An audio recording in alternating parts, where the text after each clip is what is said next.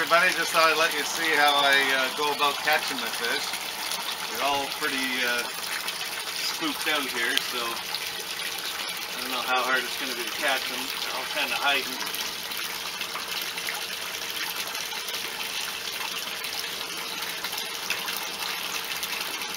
Oh.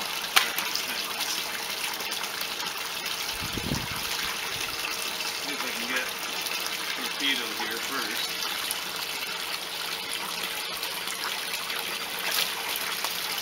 Torpedo.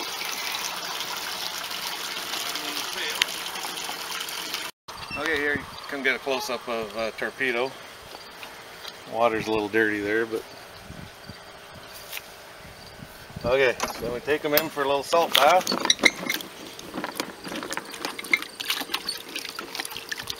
Pretty splashy trip. Look at that corky butt. Fish video, not a corky video.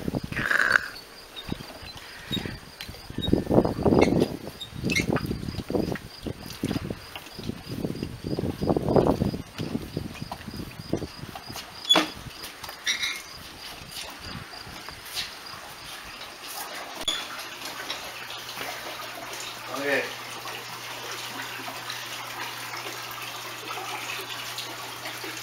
Now,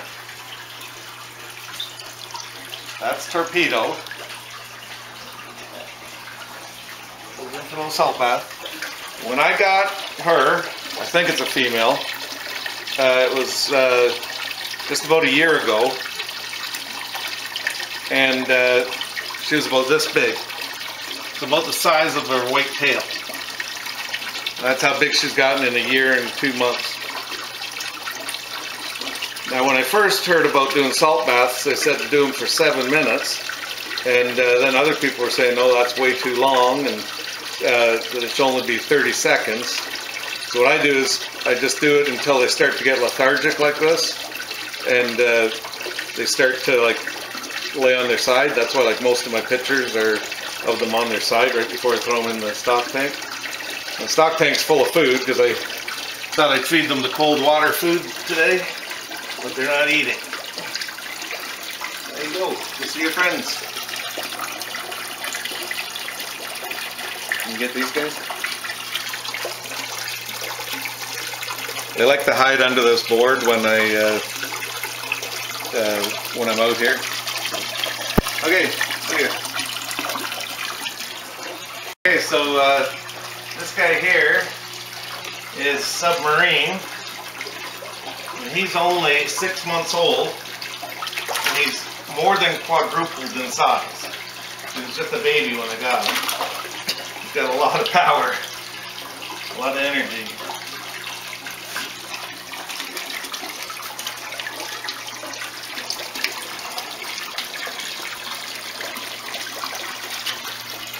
Okay, and then this guy here is also only six months old. Oh, and by the way, these are both Japanese.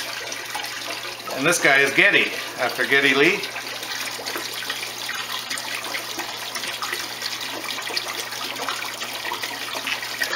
That's my most expensive fish I've ever bought.